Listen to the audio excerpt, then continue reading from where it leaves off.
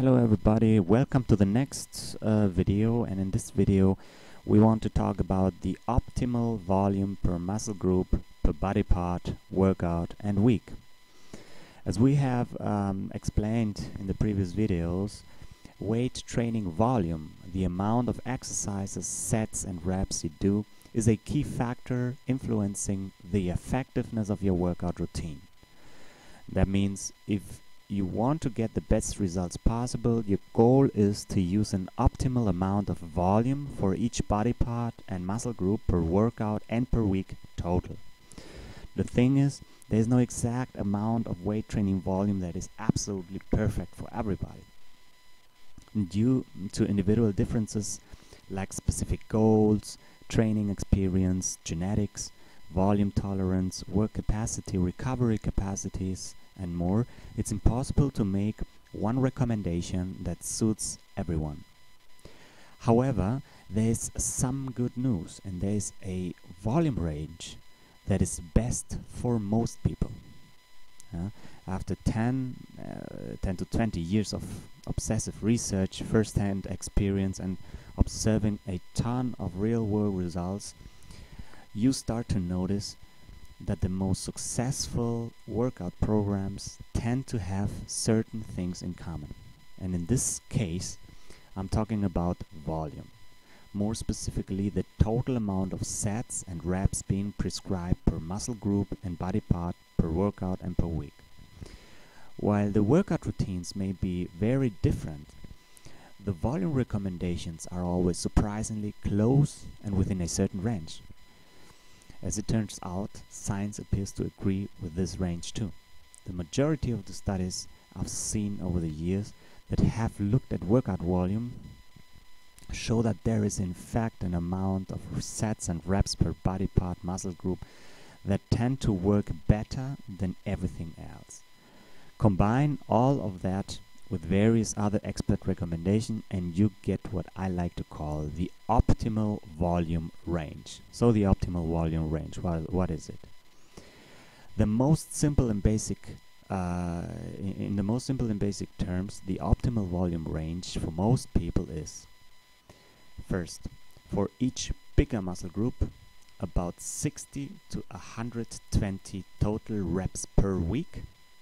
Second, for each smaller muscle group about 30 to 60 total reps per week. Uh, in more specific terms, this breaks down like this. For the chest, which is a, a bigger group, 60 to 120 reps per week. For the back, 60 to 120 reps per week. For the quadriceps, quadriceps 60 to 120 reps per week, hamstrings 60 to 100 20 reps per week, shoulders 30 to 60 reps per week, biceps 30 to 60 reps per week, triceps 30 to 60 reps per week, calves 30 to 60 reps per week, and abs 30 to 60 reps per week. And there it is, my recommendation for the optimal volume range. Can more or less volume also work?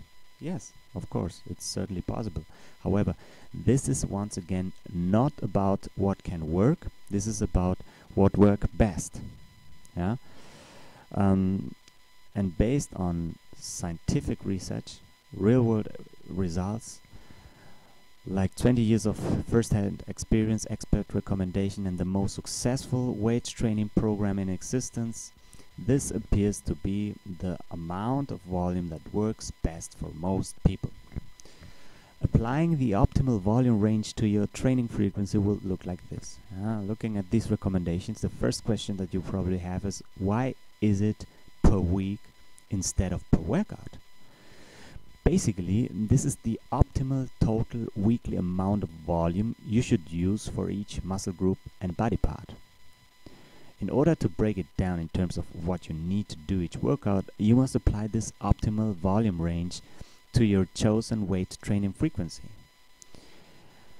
The exact amount of sets and reps you should do each workout depends on whether you will be training each muscle group or body part once, twice, or three times per week. So here is how you would break it down. Training each muscle group once per week. If you are training each muscle group body part once per week, you would do 60 to 120 reps for each big muscle group per workout with just one workout for each muscle group per week or 30 um, to 60 reps for each muscle group per week with just one workout for each muscle group per week.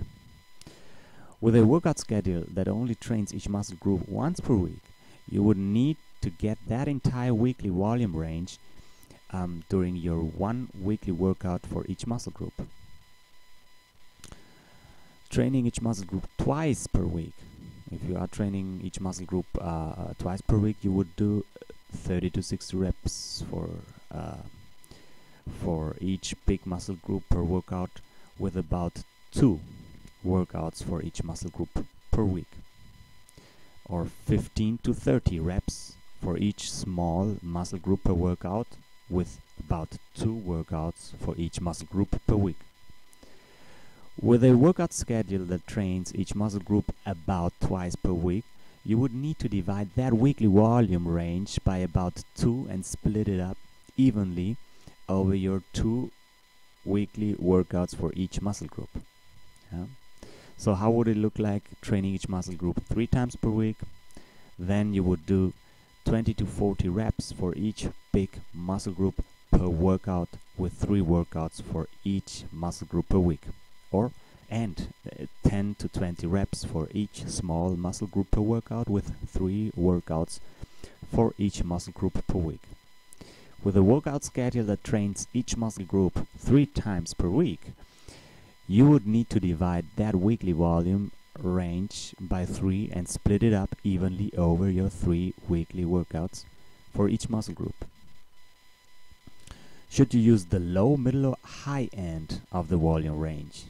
This is the second question you probably have about the optimal volume range um, is whether you, sh you should use the lower or the, the, the middle or the higher end. This question goes back to what I mentioned earlier about there being no exact amount of volume that is perfect for everybody because of various individual differences.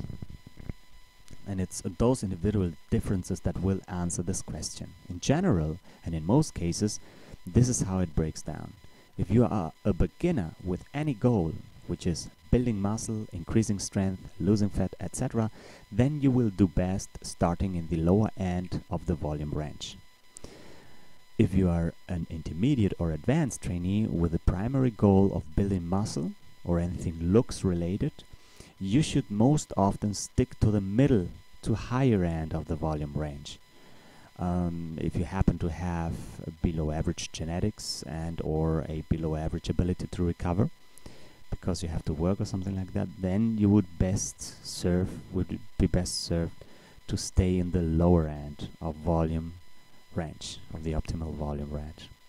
If you are an intermediate um, or advanced trainee with a primary goal of increasing strength, then you should most often stick to the low middle end of the volume range, the low middle end. And if you're a beginner, intermediate or advanced trainee with the primary goal of losing fat, maintaining muscle, and possibly building some while you lose that fat, then you would do best sticking to the lower end of the volume range. Why is there less volume for smaller muscle groups? Ah, this is a third question you might have about the optimal volume range is why there is less recommended for smaller muscle groups than there is for bigger muscle groups. This is partly due to the fact that they are smaller and just don't need and don't benefit from as much volume as larger muscle groups. However, it's mostly due to the fact that those smaller muscle groups already get used pretty hard secondarily while training the bigger muscle groups. Um, meaning they already get a ton of indirect volume. For example, most chest exercises also hit the shoulders and triceps quite well. Most shoulder exercises also hit the triceps quite well, and most back exercises also hit the biceps quite well. There's a, um, a very significant amount of overlap there, and it definitely needs to be accounted for when planning your workout volume. The optimal volume recommendations already factor this in. So what's net next? Now that you know what the optimal volume range is for each muscle group and each body part on a per workout and per week basis, you are probably also wondering how to break this down into sets and reps per exercises. And this we will find out in the next video.